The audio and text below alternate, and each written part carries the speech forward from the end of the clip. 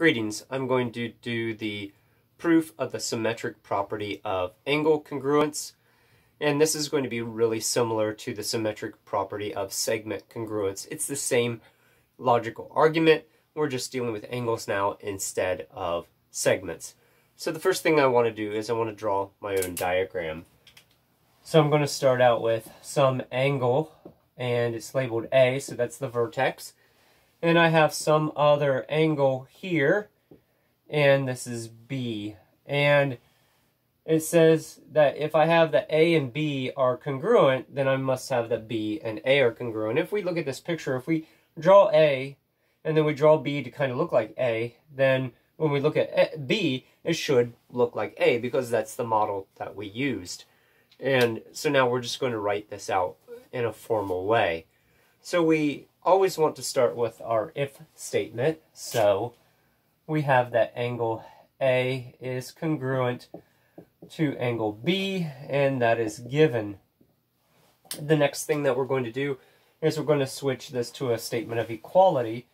The definition of congruence says that geometric objects with the are congruent if they have the same measure and occupy or can occupy different places in geometric space. So that's what we have. We have two geometric objects. They have the same measure because that's our if statement. That's that's what was given to us. And they're occupying different places on the plane here, which is my, my board is a plane. And so this is definition of congruence.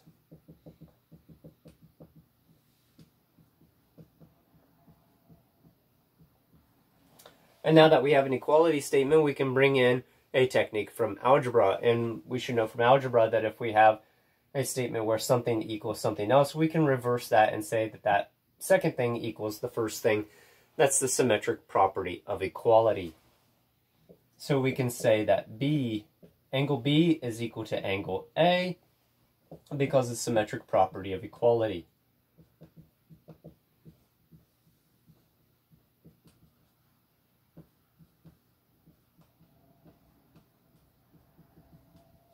And now I have two geometric objects that are equal to each other, but they're occupying different places in space, and that is the definition of congruence.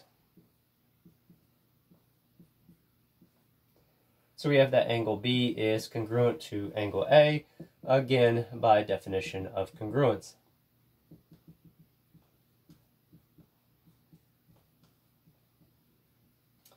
And that is what was to be demonstrated, QE D. Cheerful calculating.